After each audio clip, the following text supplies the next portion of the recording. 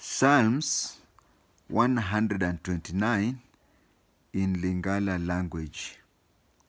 I would request you to read in a language that you understand, probably English, then listen to my chanting, then do it repeatedly, at least five continuous sessions uh, for you to understand. Psalms 129 starts this way in Lingala. Banyokolaki ngai mingi ntango nazalaki elenge. Israeli alobaka boye, aloba boye, ntango nazalaki naino elenge, banyokolaki ngai mingi, kasi balongaki ngai te.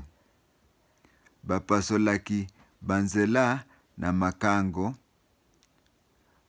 bapasolaki banzela na mokongo na ngai, lokola oyo bapasolaka na bilanga. Kasi ngolo azali sembo, akati basinga oyo bagundana bakangaki.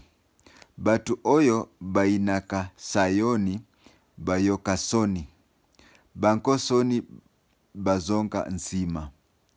Bakuna lokola matiti oyo ebimaka na likolo ya bandako, oyo ekaukaka liboso ete ekola. Moto oyo akataka yango akokisaka ata loboko moko te.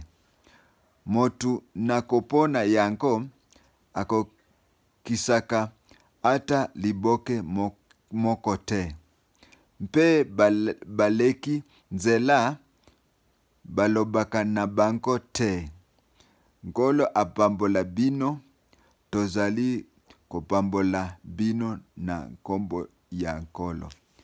Amen.